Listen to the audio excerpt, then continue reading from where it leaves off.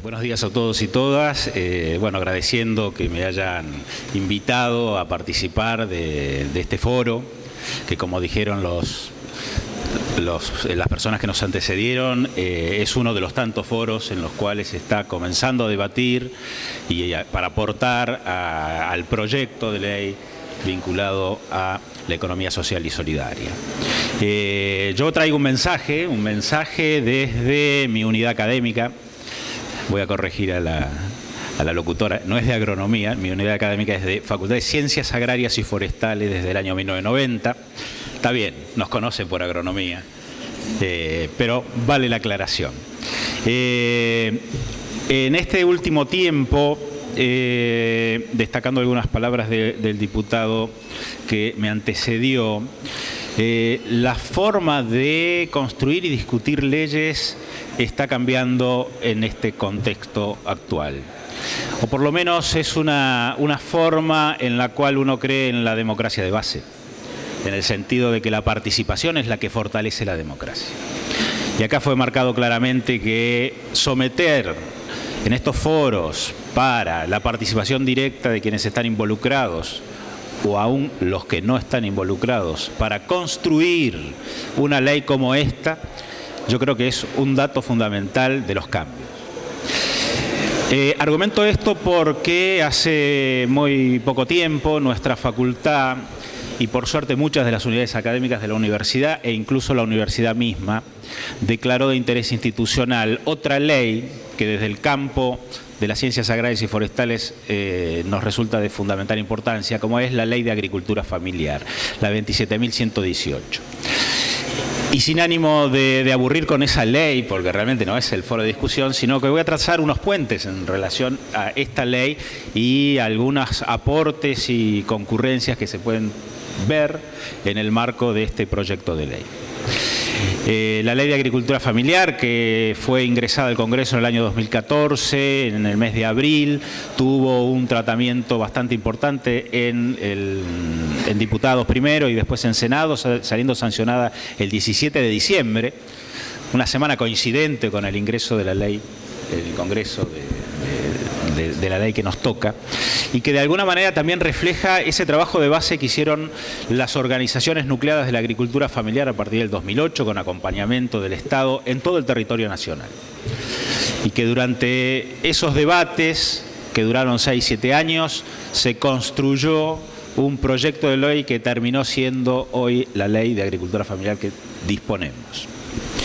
En el marco de esa ley, que es una ley que tiene eh, cerca de 37, 38 artículos, eh, y donde me parece que podemos empezar a, tejer ciertos puentes. Eh, se trabajan capítulos muy particulares donde los principios de la economía social están tácitamente presentes y si no están tácitamente presentes es porque realmente han sido partícipes de ello. Entre ellos tiene que ver me voy a referir solamente a tres puntos, sobre las formas de producción, sobre los mercados y sobre las tecnologías. Y también este punto de la tecnología es el que desde la perspectiva de una unidad académica, de una universidad, donde las tres funciones, investigación, formación o educación o enseñanza y extensión, son inseparables. Desde la perspectiva de las formas de producción, en el campo de esta ley de agricultura familiar, se promueve se promueve la organización de los productores bajo distintas formas, entre ellas la cooperativa, la mutualista, la asociativa. Y creemos que para que el logro de la visibilización de la agricultura familiar en el entorno social y económico del país prospere, esa es la vía a construir. Y en ese sentido, este proyecto de ley va a concurrir y a atender lo que la otra ley en principio enuncia.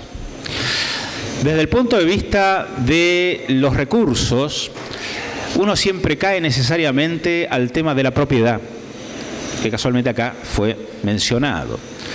Y el tema es muy discutible en términos de los alcances de la propiedad privada y la propiedad colectiva, de los medios en relación a las formas de producción en las cuales vamos a estar involucrados. Eh, el tema de tierras es central en el caso de la ley y por supuesto las formas de organización para el acceso a la tierra con distintos fines, sea para viviendas, sea para producción o para el conjunto, es un punto de encuentro en cuanto a estas normas legales. Desde el punto de vista de los mercados, eh, muchas veces no sé si conocen nuestra facultad, con otras facultades tiene un emprendimiento que se llama Manos de la Tierra y que funciona en la Facultad de Agronomía, perdón, de Ciencias Agrarias y Forestales, los días miércoles y en Ingeniería los días viernes. Este, es una forma primaria de comprender un mundo distinto, el mercado como lugar de encuentro de sujetos sociales, de productores, de consumidores, de entender quién produce, cómo produce y conocerlo, de intercambiar saberes, de intercambiar experiencias, de intercambiar vida. Y me parece que la palabra mercado hoy está apropiada por otro sector de la economía que lo hace abstracto, que lo hace impersonal y que en definitiva construye una sociedad que disocia. Me parece que recuperar el sentido de la palabra mercado es algo que deberíamos tenerlo presente. Eh, recién, eh, cuando el diputado Junio mencionaba el rescate de lo pequeño y lo local, realmente estos son puntos que son principistas. Debemos rescatar lo pequeño y lo local. De hecho, lo pequeño es hermoso. El último punto debería que, que enuncié es el tema de eh, las innovaciones tecnológicas. Eh, también estamos acostumbrados a formarnos pensando que las innovaciones tecnológicas son neutras y que son para todos por igual. Y esto es una eh, una afrenta, digamos, hacia los investigadores, una propuesta de la reflexión hacia los investigadores, que cuando construimos conocimiento, la pregunta es ¿para qué, para quiénes y dónde construimos ese conocimiento? Y es un desafío empezar a pensar procesos de investigación, sea básica, aplicada o desarrollos tecnológicos, para la economía social, para la agricultura familiar. Porque hay principios tecnológicos que realmente también son disociantes de la agricultura familiar e incluso de la economía social. Y ahí es donde invito a la universidad toda y tal vez tiene que ver con, este recorrido que hicimos sobre la declaración de interés de la ley de agricultura familiar, este, en repensar la universidad desde sus funciones básicas, la investigación, la extensión y por supuesto la formación. Y en relación a este último punto, cuando hablamos de formación, tal vez sea el elemento de impacto de más largo plazo.